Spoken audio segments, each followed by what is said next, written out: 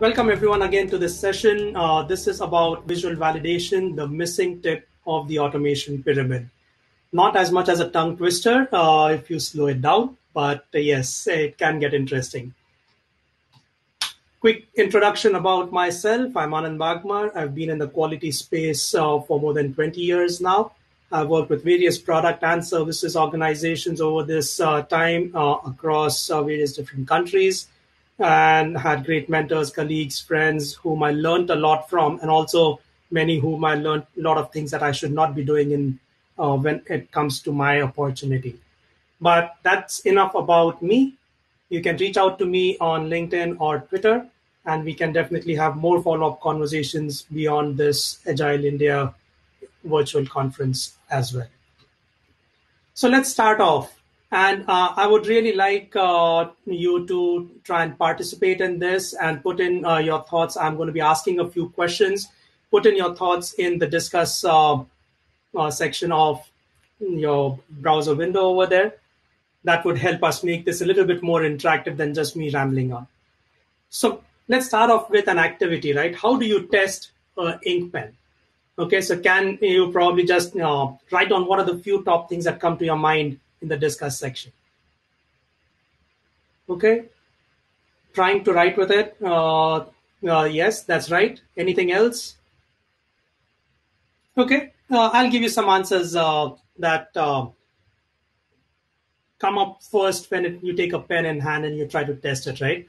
So of course it has to write properly. Uh, yes, there's another thing. Fill the empty ink tank, and that is you're assuming that there's an ink tank sit over there, right? Uh, you don't know what type or how are you going to really fill the ink over there. But yes, uh, that is also very important. You would also see if the cap closes properly, it looks as expected, and of course, it is visually appealing as well. You can hold the pen properly while writing. And there are so many other type of scenarios, test cases that you can come up with uh, for this uh, testing a pen. But the challenge is if you wait for the pen to come in your hand for testing, it is too late. And why? Because the pen is made up of many different components. It could have a cartridge or it could have an ink tank, the way Sid mentioned as one of his thoughts around it. So there could be different mechanisms of how you're going to uh, fill ink in the pen for it uh, to uh, be able to write with it.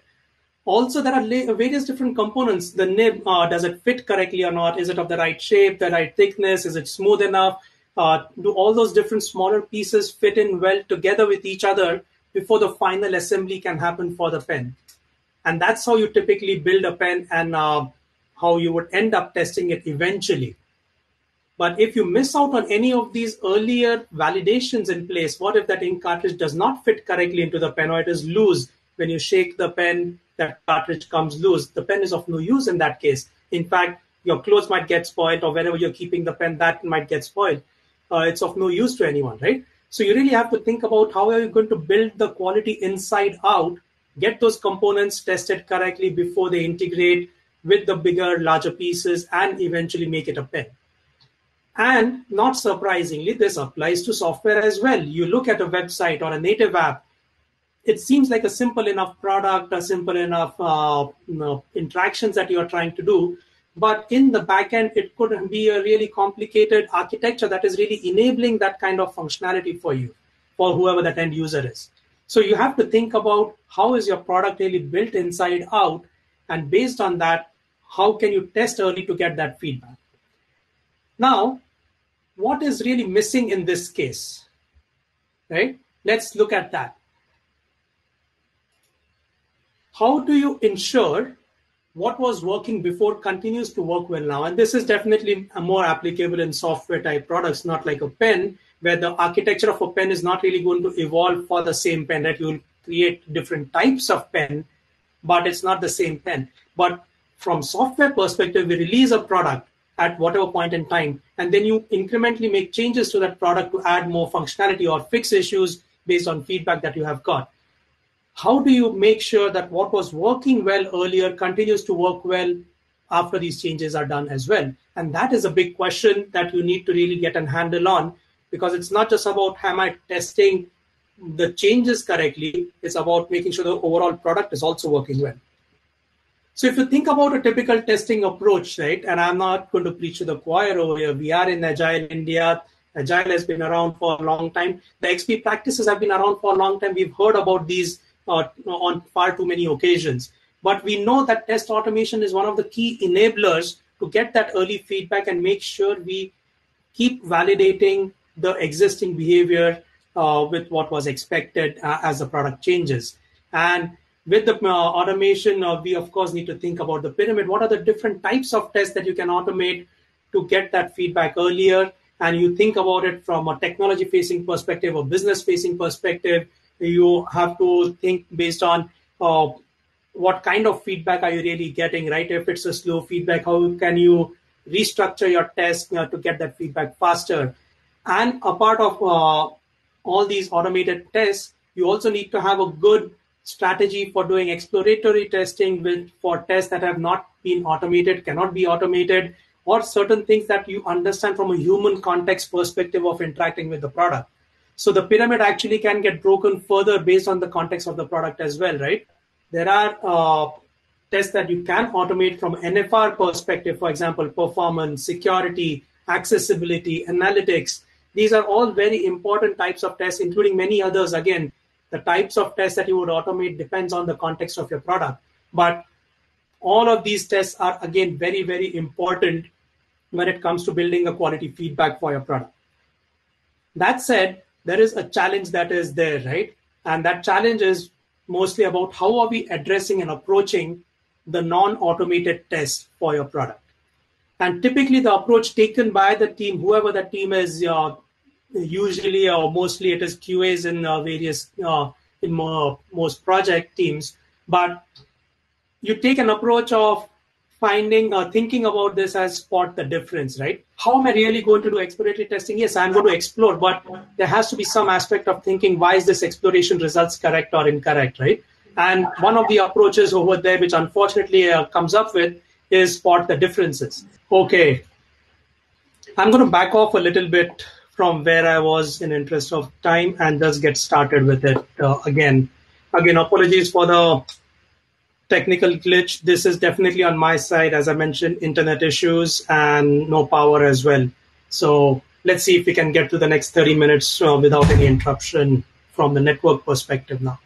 So we were speaking about uh, the automation pyramid. We now uh, we know what the value it brings uh, and how we can help look at get quick feedback of the overall quality of the product based on these automated tests.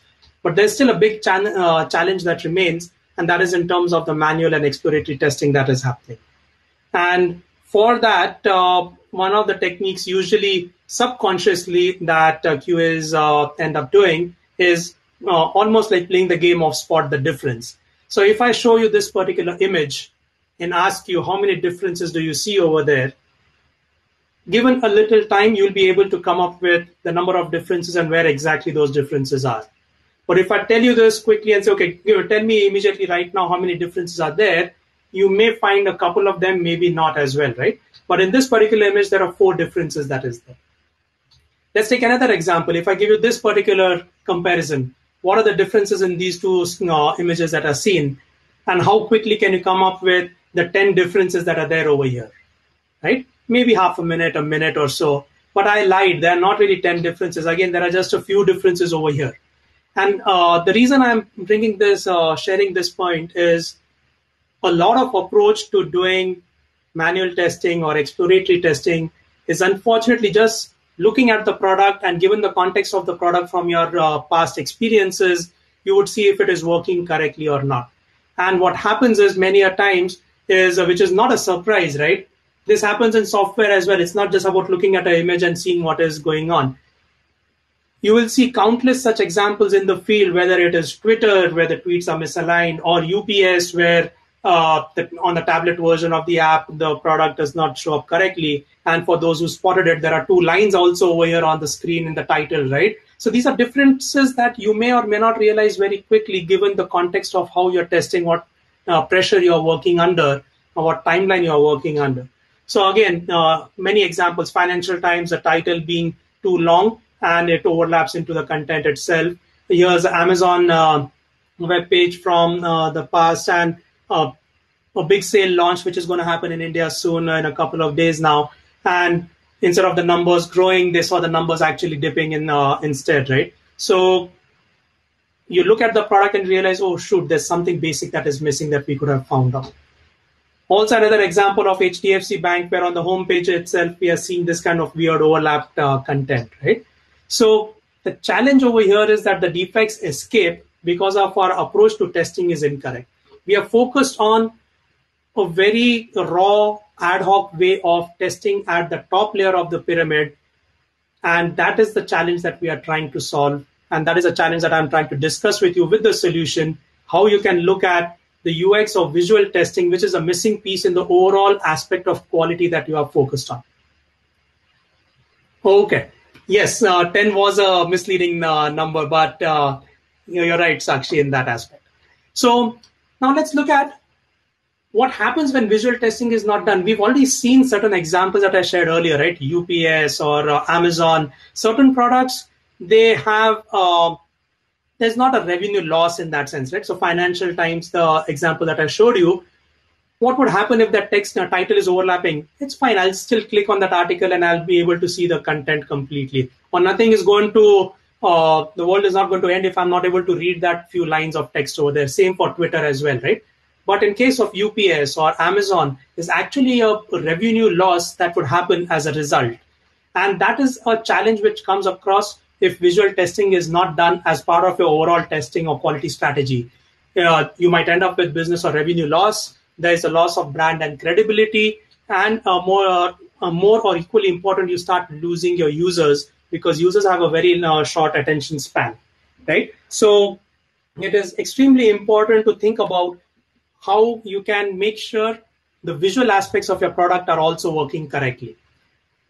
Let's quickly understand for those who are not aware of this, what exactly is visual testing.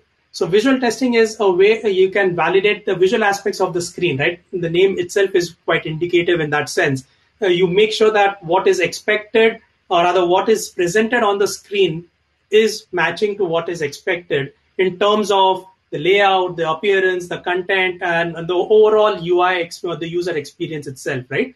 That is visual testing. Now, how is visual testing typically done? This is done manually. We saw that example, right? We're manually trying to figure out if there's something wrong with this. And uh, the reason this becomes a challenge is because of it being done manually. It is a very tedious process. It is extremely error prone and it is impossible to scale and repeat. And if it is any of these uh, conditions satisfies in your approach of testing, then you are going to be a blocker for enabling CI/CD. Okay, and that's the part that we really need to focus on. How can we uh, avoid right? How can we remove the blockers and enable the team to move forward faster? So you can use functional automation to help in certain ways, but there are still challenges of how much functional automation can help in this case, right? So over here, this is where I would like to present to you how a visual test automation can work to solve this problem. Okay. So the first thing that visual automation needs to do is create baselines. And that is typically done by taking screenshots of the expected UI. When you have created these baselines, you would compare the screenshots when the test runs the next time with the baselines and see if there is a match or not. This can be done at a whole page level or snippet of a page level. Now, the whole page itself can be what is seen on your screen versus you scroll and take a full page screenshot and compare against that as well. That is also a, a further level of detail about what type of validation can be done. When you do the comparison, you would find out if there are any differences reported in this Either that is because your product has evolved, that means functionality has changed, so you need to update your baselines, or you've actually found a defect of, uh, which is going to uh, be a problem and you need to fix quickly. That defect could be just a visual defect because there is overlapping text, or it could be a functional defect, which means that, oh, I expected certain values to be seen over there, or certain data to be seen over there, but it is not there. And we'll see more details of this in a demo as well. Okay. Now, the challenges of visual uh, testing is the false positives and negatives. And this is extremely important to understand. Uh, basically, it comes down to how the visual test automation itself is being done. If you're going to use pixel comparison for uh, comparing your UI, that is going to be a big problem because browser version changes can create uh, updates in the rendering engine, which means the way pixels are rendered for the same page could be different. Hence, you will get differences over there. Or dynamic data becomes a problem or uh, also the responsive web design, right? Or even if you have native apps across all different types of devices, we've got devices right from 4x inches to six and a half, seven inch screens or tablets as well. How many such baselines will you take for each of these specific viewport sizes to do the actual pixel to pixel comparison and make sure everything is fine? So the false positives and negatives is one of the biggest reasons why visual validation uh, fails, automated visual validation fails. The second aspect, which is a challenge, is how do you really create a baseline and maintain these baselines? And again, as I mentioned, this could be for different browsers and devices and resolutions and viewports as well, right? You need to have a baseline for each of these combinations. Otherwise, I'm trying to compare an apple with an orange, and just because both of them are fruit does not mean they are represented the same on the screen, right? So you need to do an apple to apple comparison in order to get results from a visual, visual validation and that result analysis itself has to be rock solid and uh, give you the correct results. No false positives no false negatives over there. Only then can you really take action on that. Okay? So this is what is really important uh, from uh, these are the challenges from an automated visual validation perspective.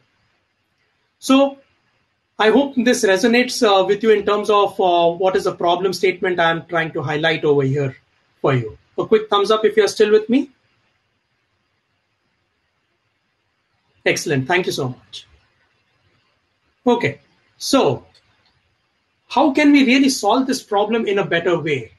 Okay. And this is where I want to uh, talk about one of the options, what you could use, which fits in very well with your agile uh, way of working, where agile or not for that matter, right? It's a matter of getting quick feedback and uh, accurate feedback about what exactly is happening with your product.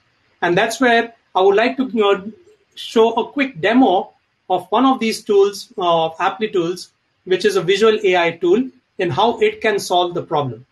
Again, there are a lot of other tools as well. This is the tool that I'm uh, using from a demo perspective for you. What I have over here is on the screen, hopefully my browser is uh, visible, where I have integrated Applitools with my functional testing tool. Now in my functional testing, I could have, uh, you can see from this page, uh, there are more than 40, 50 different SDKs based on the choice of your functional automation tool. You could choose a particular SDK of Applitools to integrate visual testing along with your functional testing. And the uh, advantage it brings out is you are using your functional testing tool like Selenium or Appium, for example, to drive your application under test to do the various different functionalities you open the app, you log in, you navigate to different screens, you interact with the screens, uh, do actions on them, right?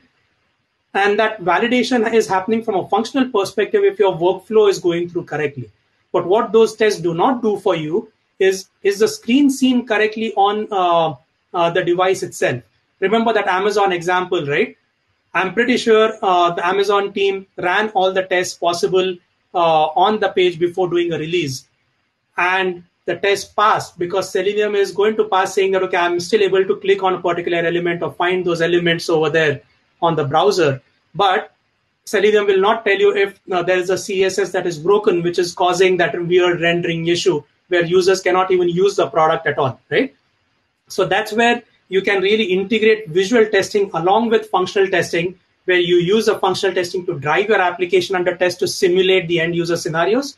And then you will use the visual testing aspects at relevant points whenever you say, I want to do a visual validation done of this functionality. The results will be captured, uh, the data will be captured, sent to Applitools where the comparison happens. So let's take a quick example.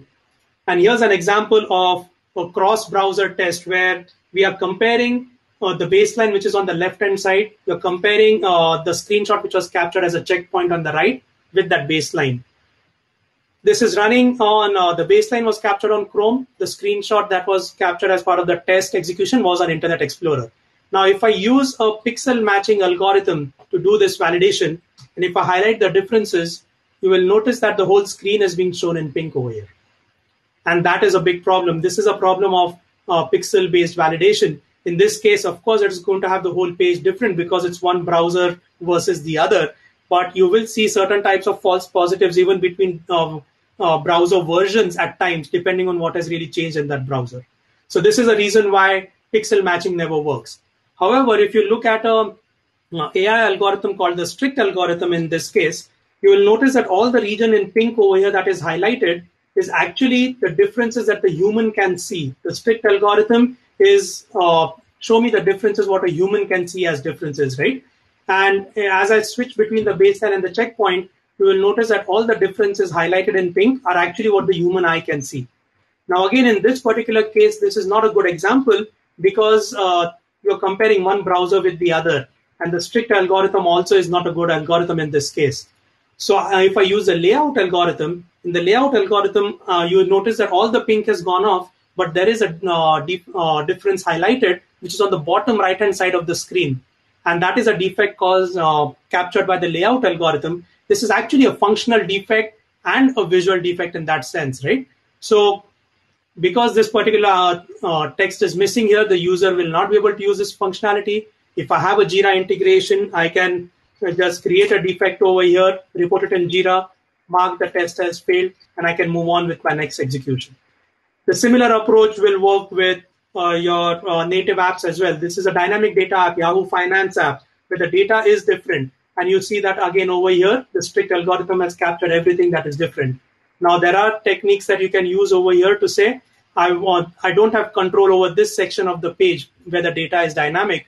So I want to use a different algorithm for that screen. And I'm using layout over here. So layout is ignore the content, focus on the structure of the page. And based on that, it is still found there is some one difference that is there in the button over here, uh, which is a problem from a layout algorithm perspective, right? So again, these are some of the examples, the power of AI algorithms that you can get to use uh, to see if your functionality as well as visual aspect, user experience is working correctly. And this will work regardless whether it is web apps, native, or even PDF forms for that matter. Uh, for teams which are uh, from a compliance perspective, it is very important to make sure the PDF documents are also validated. And the same algorithms will work for PDF as well.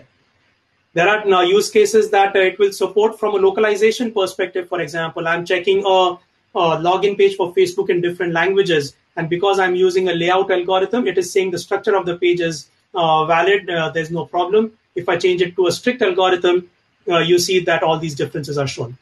Now, the other very important aspect from this is uh, what is important from a scaling your test perspective, right? Your users are not just on one browser or one device. You want to scale that execution across all the different browsers and viewport sizes. But there is really not enough value in running your functional tests against all the different browsers or viewport sizes as well. So uh, you could uh, use another feature from Applitools called Fast Grid, where you run the test only on one browser, but you configure it to say, I want to do the rendering on all the different browsers as well uh, and viewport sizes. So just by two tests executed, uh, the visual validation is done for all the different browsers and viewport sizes that you have uh, specified, and you get the value from that immediately, right? So your feedback cycle reduces drastically. You're running the test just once in your CI machine or on your dev or QA laptop itself, and you will be able to get visual validation results uh, for all the different browsers that um, are important to you. There are other interesting aspects, again, from a shift left perspective, which is very important, is a root cause analysis. Now, what this does is if you click on any of the differences highlighted, Applitools will tell you what is the difference in the DOM and CSS which has caused this difference to come up in the first place. Now, this again becomes a very powerful way to I have not just run my tests in CI. The test will fail if there is a functional defect or a visual defect in CI, so you get that feedback over there. But it's not just important to find what has failed, it's also very important to know why it has failed and take corrective action against it. And these are some of the features uh, from Applitools that will help you find those, uh, get that quick feedback and fix the issue as quickly as you uh, can, right? I don't want to get into other features over here, but I hope uh, this aspect uh, you're able to uh, relate to in terms of the, the, kind of problems you need to you'll be able to solve over here. Okay. So moving on from the demo itself, and we'll uh, take the questions. I see there are some questions over here already. Uh, so it's good. Uh, we'll get to those uh, shortly. I'm almost uh, done. I want to have as much uh, Q&A as possible and interaction with you as possible on this. So the test automation pyramid we already saw, right? So basically what we're saying is we need to add a visual component to this pyramid. And that visual component basically is user experience validation. And that has to be automated.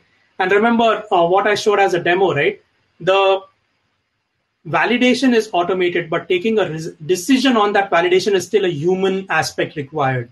You as a team member know if the difference that is seen is that because of a regression caught in your product or that is because of your product has evolved and uh, you need to take a decision uh, you need to update your baselines based on that right so it's very important to understand where the value of tools can come into picture. It's not about ai solves all the problem. Ai in this case when used for visual testing is able to tell you the difference with accuracy but you as a team member know why that difference has come in and how you need to address that right? So tools have to be used in the correct fashion in order for you to get that feedback and overall this is what the product quality is. It's not just about ui testing. It's not just about unit testing. It's all aspects of testing that is done including the non automated testing.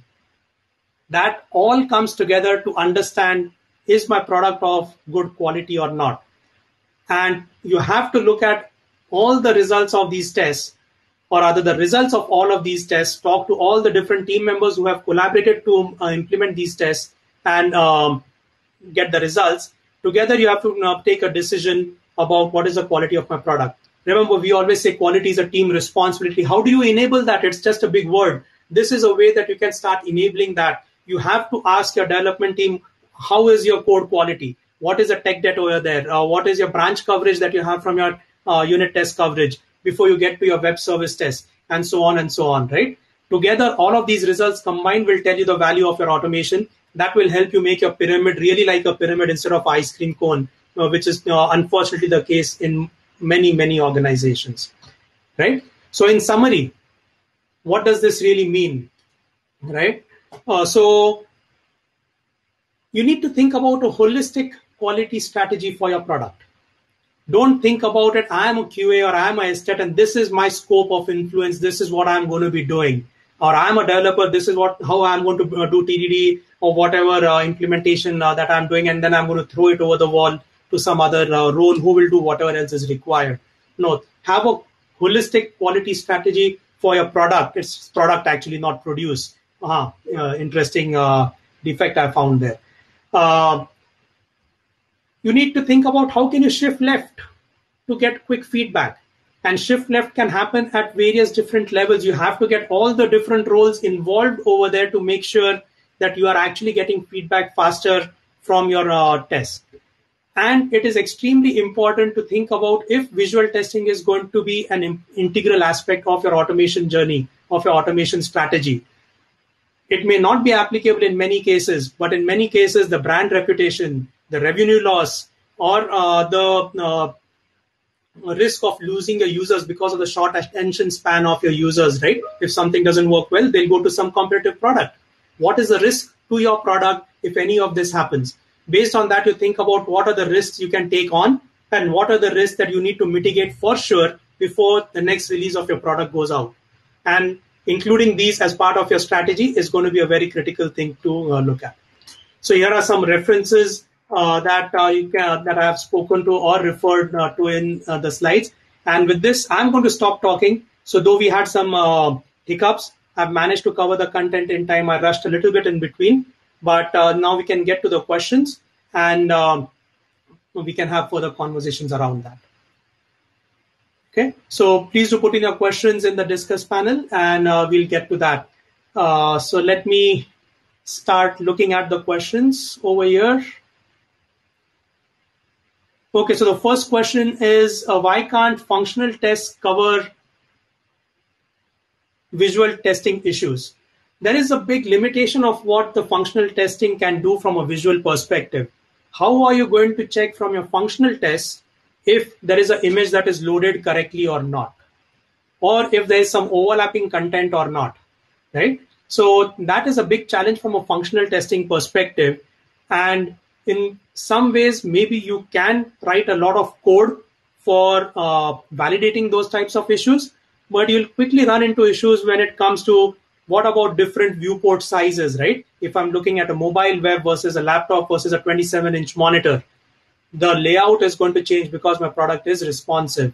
So, can I really do justice by writing how much code can I write to um, get that validation if it is even possible? So, that is the first part. Uh, I hope that answers the questions, actually. That was a few quick examples why functional testing cannot really uh, do visual testing uh, to the level that is required. Also, from aspects of color and everything, right? Uh, you need to think about that aspect as well. The next question is how to monitor KPIs across builds as part of CI/CD pipelines, that is login time, time to checkout, etc. Uh, again, a very interesting question, not tied to visual testing, but uh, I'll take a stab at answering that uh, uh right now. Is you need to have you need to be able to capture metrics which are going to add value to you. So some of these KPIs that you're talking about, these are metrics, right? What are the metrics that are going to add value to you? And value is in terms of not to understand uh, just what your test execution has been, but really about what information does it give that can help you take decisions about your product quality or your test automation itself. So you need to look at identify what are these metrics that are important to you. And then when you have identified these metrics, use the 80-20 rule and see how can you automate capturing of these metrics into dashboards or reports automatically as part of your test execution. So you don't have to spend time in capturing that data and taking decisions on those. So the 80-20 rule is extremely valuable over here to think about it. Which, what can you do to get maximum value, uh, automated results capture, uh, metrics capture based on what you'll be able to take decisions, and maybe the rest of 20% metrics for which you haven't been able to automate uh, getting the values directly. Is it okay if we live with just the 80% and uh, skip the 20%? Because do you have enough data in that 80% that will allow you to take decisions, right? So maybe uh, that is an approach I actually uh, take many a times. The next question is how localization testing can be done. Now, localization testing itself is a very uh, different topic, and I will uh, add just one aspect uh, to this right now. Right, localization testing it is very challenging for the team to do uh, in terms of is this content correct. So I showed that example of the Facebook login screen, right? So if I just quickly uh, go back over there, so in the Facebook So in this particular screen, I don't understand either of these languages. So does it mean that I cannot do any testing over here at all? So this is where your strategy again comes in, uh, which is very important about in which environment, what type of testing will I do? So maybe in my dev environment or in my QA environment where I have control over the data, for that fixed data, if I use a layout algorithm, the layout should not uh, break regardless of what data is fed into uh, these screens, right? When I'm comparing with, between different languages. However, if I want to check for a particular language itself, that's a different strategy. You can use a strict algorithm and say, I'm comparing a French login page with a French uh, language login page itself. And is there any difference when the data changes? Uh, I'll be able to capture that. So there are different aspects from a localization and automation perspective that you can think about.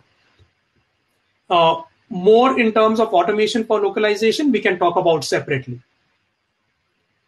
The next question uh, that are there first is a comment, I guess, more is I think all of these testings are still reactive until and unless people start working towards TDD, BDD.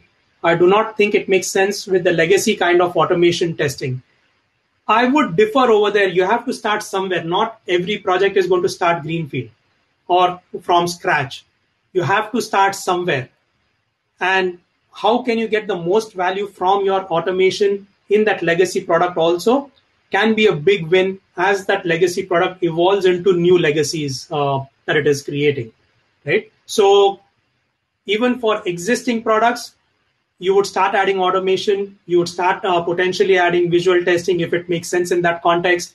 And then as that product evolves, you will start uh, seeing the value of that. The second aspect is even for legacy products uh, which had limited automation and you add more automation to it after the fact, that becomes an opportunity for you to say, I have a test safety net now. Can I do refactoring internally in the product? And as long as my tests are still working fine, maybe that is a good value or that these tests are also bringing to me. So, in fact, that's a strategy that I've taken in multiple projects in my past experiences, where for legacy products, to enable certain change in the product functionality, the big risk is it doesn't have any automation. So, first we build automation based on what we know about the product functionality to as much level of detail as possible. And then using that as a safety net, we start refactoring bits and pieces and make sure our tests continuously keep passing uh, as that refactoring is happening. So hopefully that uh, helps uh, answer that particular uh, comment itself. Thank you for joining us today. And Thank you, everyone. And again, apologies for the technical glitch. Thanks, everyone. Bye bye.